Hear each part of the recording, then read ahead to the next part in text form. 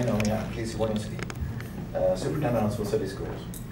Uh, I asked you to join me this afternoon to let you know that effective 5 PM tomorrow, uh, I will be resigning as Superintendent of Huntsville City Schools. Uh, I'm going to go take care of some personal business.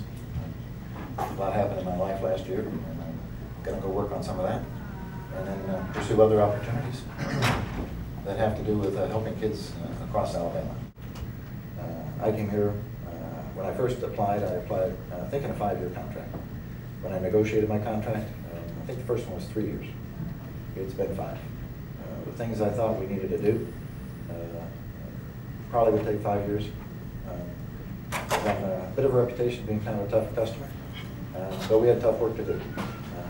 These kids have uh, 13, 14 years to get a good education. I don't have 13, 14 years to get around to, to making it so. So we, we move fast and sometimes move hard, uh, but always with the idea that the kids um, need to be the focus. And so that's been done. Um, Huntsville's got a lot of progress to make, uh, a lot of uh, community building to do, and there's probably a great superintendent to help make that happen.